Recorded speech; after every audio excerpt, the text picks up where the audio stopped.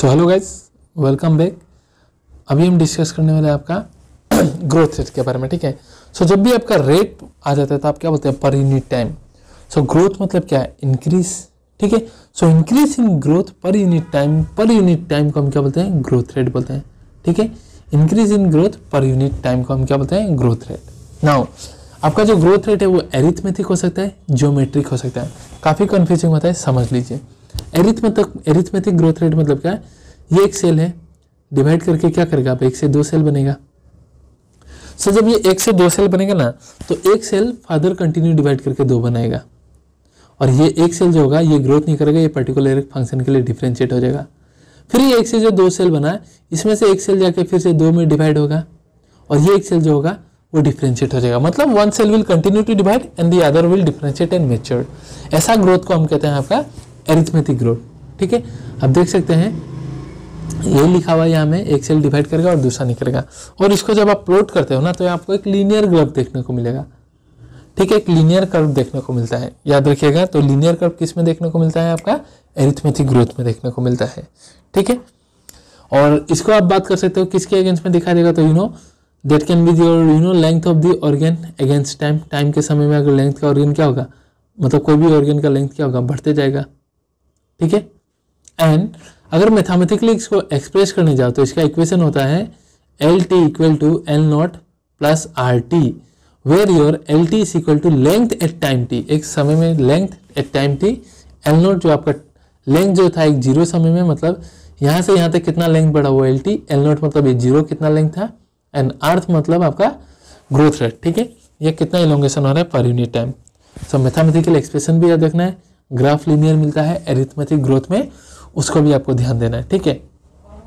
सो so, ये हो गया आपका एरिथमेटिक ग्रोथ का बारे में। Now coming to the geometric growth geometric growth में क्या था? ये एक सेल है एक से डिवाइड करेगा दो में ठीक है? अभी दोनों का पास पावर होगा दोनों फिर कंटिन्यूटी डिवाइड करेगा। डॉटर सेल जो है वो भी डिवाइड करेगा। Now this daughter cell will again divide देखो। सो so, अनलाइक आपका डेट इज़ एरिथमेटिक ग्रोथ जहाँ आपका एक डिवाइड करता था, एक मेच्योर होता था, यहाँ all the progeny cells continue to divide ठीक है? सो इसका अगर आप देखोगे तो क्या होगा? इनिशियली इसका क्या होता है? आपका जो इनिशियली जो ग्रोथ होगा, एक से दो बनेगा। देखो, एक से दो दो से चार चार से आठ इनिशियली कम हो रहा है ना?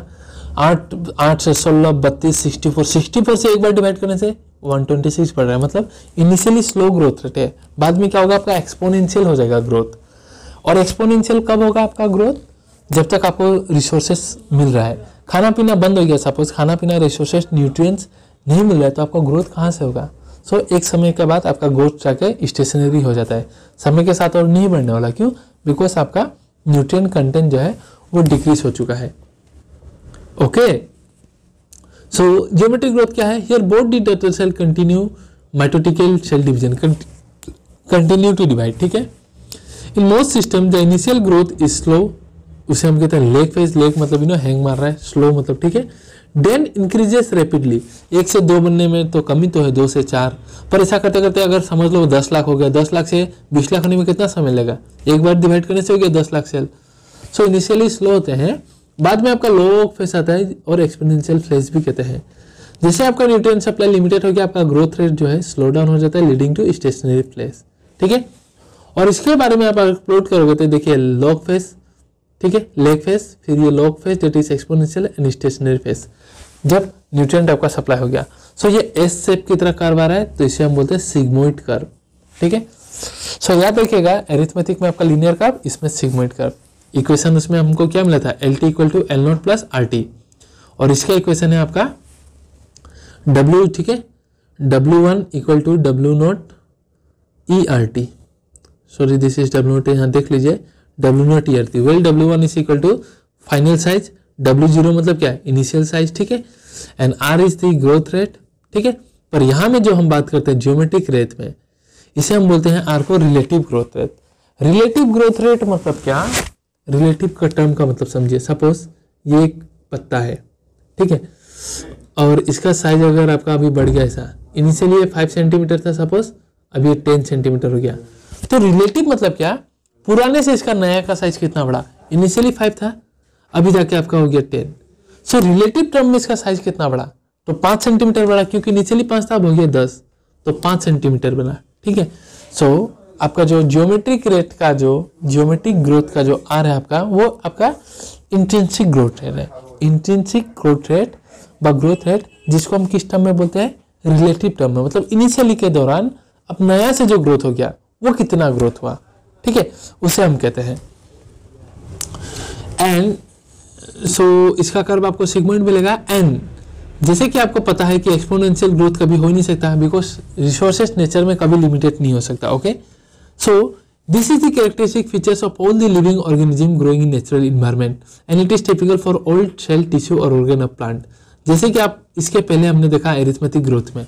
उसमें क्या था? आपका ग्रोथ जो था लीनियर था। So linear growth is not always possible any time nutrients कौन सप्लाई करेगा? भाई, कभी ना कभी तो कमी आएगी कभी बाढ़ आ जाए, कभी सूखा जाए, कभी ना कभी प्रॉब्लम होगा ही होगा। ठीक है? So that is not the characteristic features of all living organism her living organism का कैरेक्टरिस्टिक फीचर क्या है? आज मैं कब तक ज़िंदा हूँ? जब तक खाना पीना मिल रहा है। जैसे खाना पीना बंद न्यूट्रिएंट बंद एक हफ़्ता में सटेप में। ठीक है? So my growth is also like this phase that is sigmoid sigmoid कर मिलेगा मेरे ग्रोथ को भी। कहने का मतलब है हर लिविंग ऑर्गेनिज्म का कैरेक्टरिस्टिक फीचर जो है, वो सिग्मोइड कर भी समझाता है मतलब ज्योमेट्रिक ग्रोथ समझाता है। इनिशियली में लेग फेस होगा लेग मतलब हैंग मार रहा है स्लो जैसे ही न्यूट्रिएंट मिल गया एक्सपोनेंशियली ग्रोथ होगा। प्लांट का बात कर रहा हूँ। और जैसे ही फिर खाना पीना न्यूट्रिएंट्स प्लांट को अगर नहीं मिल रहा है तो क्या होगा? उसका प्लांट का ग्रोथ रेट स्लो हो जाएगा। दो साल हो जाए, तीन साल हो जाए, उतना ग्रोथ होगा ही नहीं because nutrients are not available ठीक है? सो इसके साथ हम आपका ग्रोथ रेट का टॉपिक खत्म करते हैं। आई होप दोनों के बीच में डिफरेंसेस एंड क्लियर हो। कोई भी डाउट हो तो आप कमेंट सेक्शन में बताइए और अच्छा लगा तो वीडियो को लाइक और अपने दोस्तों के साथ शेयर कीजिए, ठीक है? Hope you guys like the video stay in for the next part thank you very much